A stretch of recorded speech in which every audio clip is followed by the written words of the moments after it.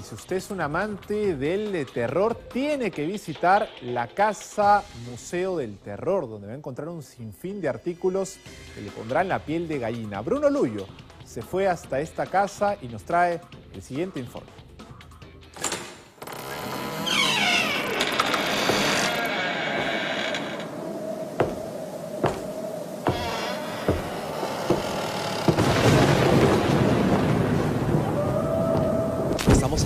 Halloween y hemos llegado hasta San Miguel porque les vamos a mostrar la Casa Museo del Terror. Ya digo esa palabra y de verdad que se me escarapela el cuerpo, pero para eso me va a acompañar el vidente Franklin Steiner. Franklin, vamos a entrar a esta casa, de verdad que tiene muchos muñecos, muchos objetos antiguos de terror. Desde que se ingresa ya uno siente la mala vibra, la mala energía.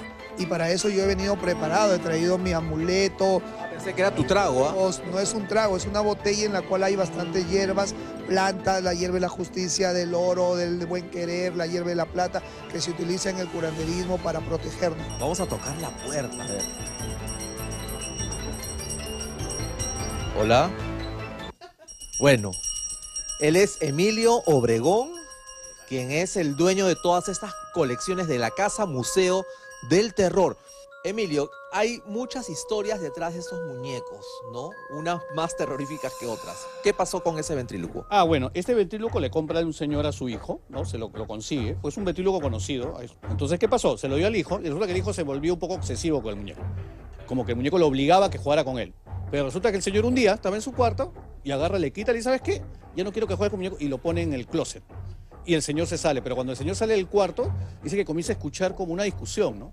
El señor se acerca a la puerta y ve que el niño está discutiendo, pero con una persona adulta, o sea, le hablaba fuerte. Y resulta que el chico mira, hablaba con el closet, ¿no? Miraba el closet. Cuando en ese instante se quiere meter, dice que el closet ha reventado, que la, la chapa salió volando, la puerta del closet salió volando, que el chico se ha puesto a gritar y el señor adentro dijo, y lo único que estaba dentro del closet era el muñeco. Y lo que ha hecho el señor simplemente es hacerse el muñeco, ¿no? El muñeco que más miedo te da. Esa cámara pecta que ves ahí. Esa cámara me lo trajo una señora, resulta que su hijo era fotógrafo y a los hijos lo asesinan en un, en un robo. Y resulta que un día va un sobrino a la casa, la señora tenía pues las cosas del chico guardadas en su cuarto y le quiere regalar la cámara. Cuando saca la cámara resulta que ven que hay un rollo adentro y lo mandan a revelar y resulta que habían fotos que se habían tomado después de la muerte del chico, en eventos familiares. Pasan unos años más, quiere volver a sacar la cámara, encuentra otro rollo y otras fotos que se habían tomado después de que el chico había muerto. O sea, seguían tomando, usando la cámara y todas las fotos eran con ella. Hablando de cámaras, aquí percibo, capto que esa cámara ha sido también de algún comunicador social, una persona que se dedicaba pues al tema de la comunicación. Eh, esa cámara está llena de energía negativa. Ahora vamos a entrar al baño. Bueno, así nomás de, de, de pasadita, pero ni el baño se salva. Todo es de terror. Help me. Ay, no, qué miedo. Más ouijas. Uy, no. No, de verdad, terrible. Acá yo no me ocuparía en este baño. Vamos por allá.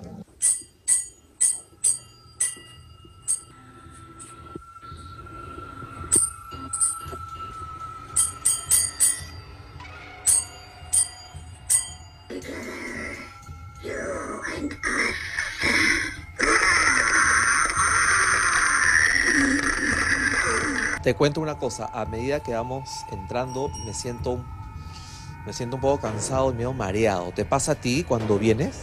Sí, regularmente es así, ¿no? Yo te soy honesto, cuando pasa esas cosas, a veces cuando ha venido gente y les pasa eso, yo paro un poco las visitas, ¿no? También, bueno, un poco el que maneja acá, ves ahí una muñeca, que es justo la muñeca de vudú mexicana que te decía, una muñeca que le han intervenido, esa cara que ves ahí es como un demonio, tiene cuernos y tiene caras, y en la cabeza tenía un hueco, tiene un hueco donde estaba la foto de la persona a la que le hicieron daño, ¿no? Entonces, este, y es un ritual mexicano, ¿no? Que lo han traído acá. ¿no? Ahora, yo la he puesto acá un poco escondida, porque yo cuando la tuve, yo la tenía afuera. Y resulta que cada vez que venía alguien me decía que movía la cabeza. Franklin, estamos en esta habitación que de verdad también, no sé, tiene el mismo impacto que en la parte de la primera planta. Acá hay bastantes objetos que son simples adornos, pero también hay bastantes objetos que han, que han sido utilizados en rituales maquiavélicos, satánicos, de brujos, incluso hay huesos de muertos, calaveras, cráneos de seres humanos que han sido parte de, del chamanismo, de la brujería. Tú sabes que existe el bien y existe el mal. Entonces la mayoría de esos eh, entes que están, como repito, en la cuarta dimensión, están en busca de o carrera de salvación, han sido practicados en rituales satánicos. Estos objetos no es recomendable tenerlos en un hogar, en una casa. No, para nada. Son objetos, son entes, son espectros que lógicamente están en carrera de salvación, eh, están buscando la luz y no, no es nada recomendable. Claro, pero vemos de todo, vemos de todo. A ver, ahí por ejemplo está It, ¿no? El payaso It. Está por ahí. Eh... Vas a encontrar todos los clásicos de terror, antiguos, actuales. Una, una de las cosas que, que, como coleccionista busco es que cualquier personaje de terror, y es más, hasta de otros países, de películas de otros países, trato, si no las encuentro, los mando a hacer. ¡Qué bárbaro! ¿Cuántos objetos hay acá? Alrededor de 6.700. Viene a ser la colección más grande del mundo de objetos que tengan que ver con la temática del terror. Esta es un poco la reina de la casa. Este dormitorio pues se trata un poco de replicar pues escenas de la película. Si tú ves acá tienes a Herrera levitando. Y acá en la cama pues la tienes ahí en una posición pues en la parte que está en la cama, ¿no? Que ese también un poco replica un poco una escena de la película, ¿no? Donde la chica pues se... ¿Y así vino así manchadita el pijama? Algunas partes, otras yo también las, las he retocado, ¿no? Y yo le he amarrado a la cama porque regularmente viene El exorcista, otra imagen acá, pues a tamaño regular. Por ahí también la tienes como una especie de feto, ¿no? Como que recién está creciendo. Oye, es una fijación que tienes con Linda Blair, ¿no? aunque tú no creas, sí, pues. Y al fondo tienes una imagen que es también del exorcista, ¿no? Que es que está rectando. Que también es un animatronic, ¿no? Si te das cuenta. ¿Eh? Entonces, este, claro. ¿Eh? Entonces ya te imaginas un poco, ahora te das cuenta porque a veces no me quedo, porque a veces escucho un ruido y se activa. Entonces ya no es algo que me haga sentir tan cómodo dentro de la casa. Tú no duermes acá ni loco. Para nada, ¿no? O sea, ya antes un poco mi entretenimiento era venir acá, ahora ya no lo es así, ¿no? No, yo menos. Yo, ah, ni aunque me pague un millón de dólares, me, me quedo aquí. Aquí estoy, percibo, eh, capto a un espíritu, a un ente, pero este espíritu eh, eh, ha sido en su vida eh, un brujo. ¿A cuál te refieres? Allá, al cráneo. Es un cráneo real. Cráneo real. Por eso es una cabeza.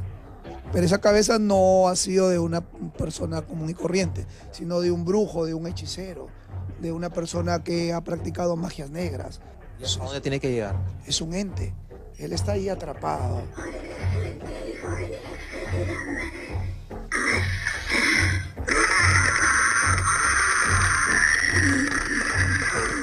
No, se dobló. Se dobló toda la cabeza, volteó toda la cabeza.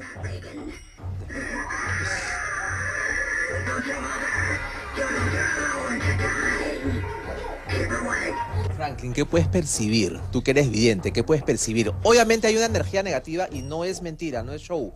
Yo siento dificultad para respirar. ¿Es eso la carga negativa? Bastante energía negativa, se sienten espectros, se sienten almas. Ok, Emilio. Bueno, nos has hecho un tour de verdad terrorífico. No he visto tantas cosas en mi vida que sean tan terribles y que asusten. Entonces, a la gente que le encanta el terror, ¿Cuándo pueden venir y dónde es la dirección? ¿Dónde pueden encontrar? Bueno, cualquier tipo de visitas que hago, hago visitas privadas, regularmente lo hago a través del fanpage de Facebook, Casa Museo del Terror Perú. Así como existe el bien, existe el mal y en esta casa eh, existen muchos objetos que han sido utilizados en rituales satánicos, maquiavélicos, como también hay objetos que no, que son simples adornos, pero sí hay demasiada energía negativa. Visiten, pero vénganse con algún amuleto, protéjanse, utilicen algo de acero, no vengan así Y esta es una lamentable noticia que tenemos que